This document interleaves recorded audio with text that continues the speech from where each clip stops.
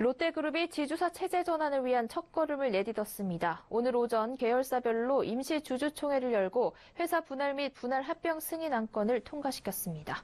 이보경 기자가 보도합니다. 롯데제과와 롯데쇼핑, 롯데푸드, 롯데칠성음료가 각각 임시 주주총회를 열고 지주사 전환을 위한 기업 분할과 분할 합병 승인 안건을 통과시켰습니다. 롯데그룹은 이들 4개 회사의 인적 분할을 통해 투자회사와 사업회사로 나누고 그룹의 모태인 롯데제과의 투자 부문이 나머지 3개사의 투자 부문을 흡수 합병하는 과정을 거치게 됩니다.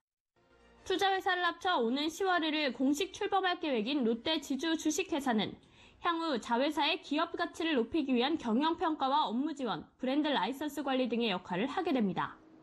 지주회사 체제로 전환하게 되면 복잡한 순환 출자고리가 67개에서 18개까지 줄어들게 돼 경영 투명성이 높아질 것으로 기대됩니다. 또 신동빈 지배체제는 강화될 것으로 예상됩니다. 향후 신동빈 회장은 사업회사의 주식을 지주회사에 현물 출자하고 지주회사가 발행하는 신주를 배정받는 주식 수합 과정을 통해 지주회사의 대주주가 될 것으로 보입니다.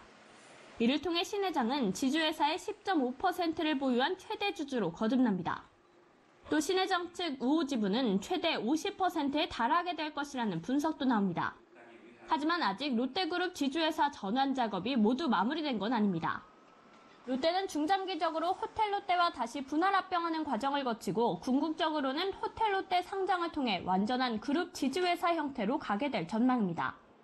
한편 오늘 롯데 소액주주 연대 모임은 주총장 밖에서 집회를 여는 등의 합병 반대 의견을 피력하며 롯데 쇼핑의 합병 비율과 관련해 명확히 해야 하며 무리하게 지주사로 전환한다면 법적 책임을 져야 한다고 주장했습니다.